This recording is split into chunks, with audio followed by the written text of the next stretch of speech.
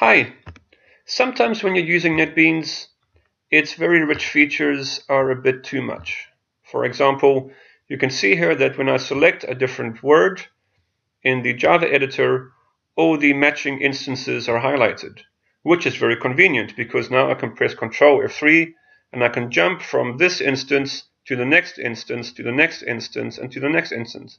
So you can jump around from the one to the next, which can be very convenient but it can also be quite noisy.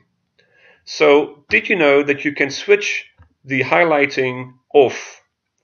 In particular, as you can see here in this dark look and feel, the highlighting is a bit of a glare and it would be nice to simply say, no, we don't want this. We want whenever we select a word, all the matching items to not be highlighted and even the currently selected word should also not be highlighted. The way to do that is to go to the options window. So I'll press Alt T and then O, and I'm in the options window. And you can see there's a highlighting tab.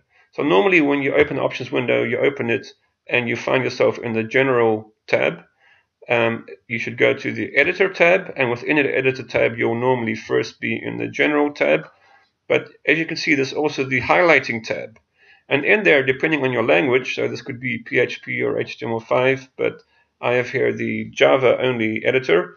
You can see that uh, we can select our language and then we can specify, first of all, let's specify that keep mark should be switched off.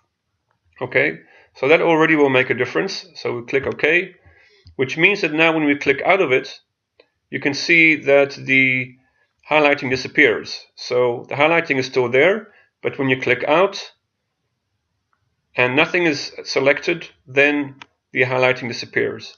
You can go even further and specify which specific element should the highlighting be applicable to. So types, methods, whatever. So let's, in this case, specify that there should be no highlighting at all, which is very nice and very quiet. And now when we select something, it is not highlighted and all matching items are not highlighted either. As you can see, it's a much quieter experience.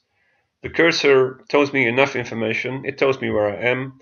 I don't necessarily need to know all the matching items, so they are not highlighted anymore. That's it. A nice and easy tip, especially if you're using the dark look and feels and the dark editor to make a quieter coding experience.